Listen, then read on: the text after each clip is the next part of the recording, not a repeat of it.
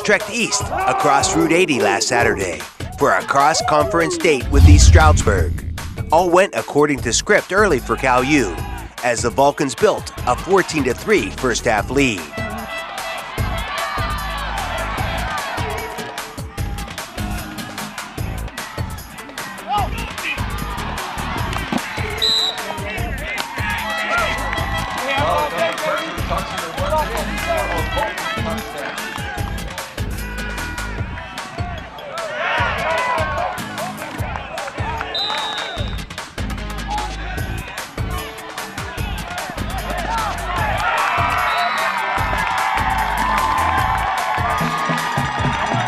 But a rash of turnovers, coupled with missed opportunities, nearly led to the Vulcans' demise.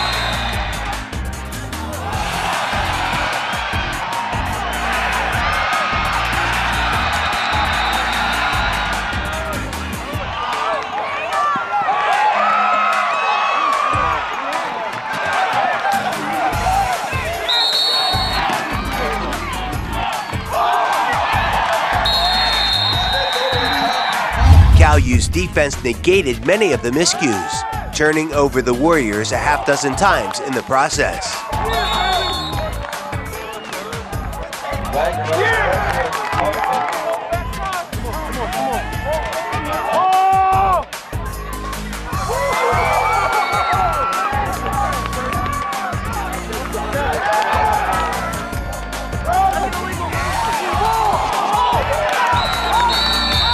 With 3.12 remaining and the outcome in doubt, the Vulcans faced a fourth and 10 at their own 25.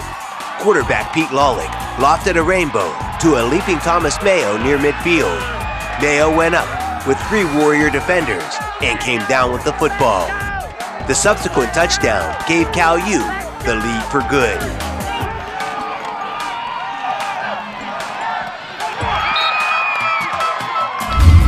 Cal U's thrilling 22-19 win over East Stroudsburg gives the Vulcans a 2-1 pre-conference record and some necessary momentum heading into league play.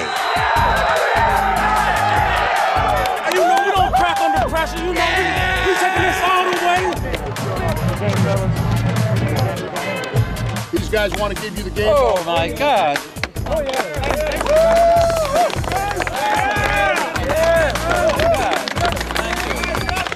I'm proud of y'all, man. I'm proud of y'all stuck together. We're a family. Let's get family on three. One, two, three. Family.